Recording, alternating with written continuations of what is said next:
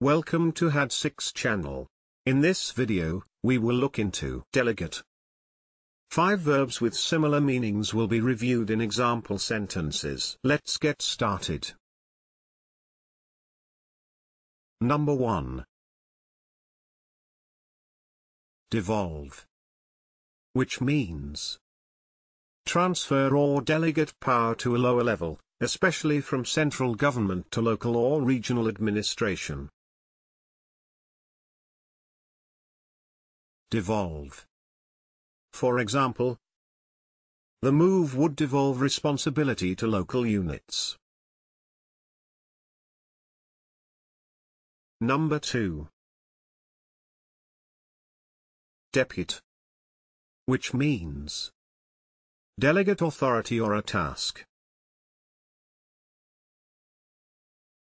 Depute.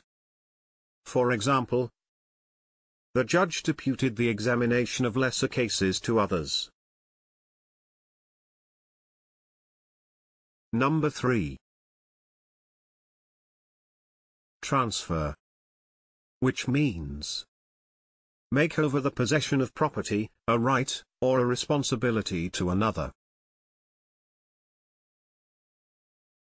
Transfer. For example, we will transfer full planning responsibility to local authorities.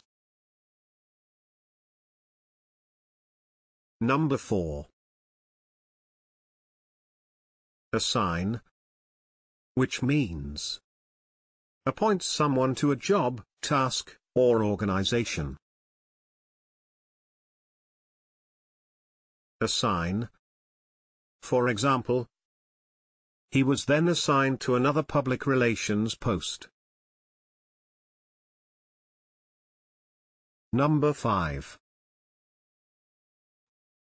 Entrust. Which means assign the responsibility for doing something to someone. Entrust. For example, there are a great many powers entrusted to the Home Secretary. If you have better examples in mind, please share them in the comment section below.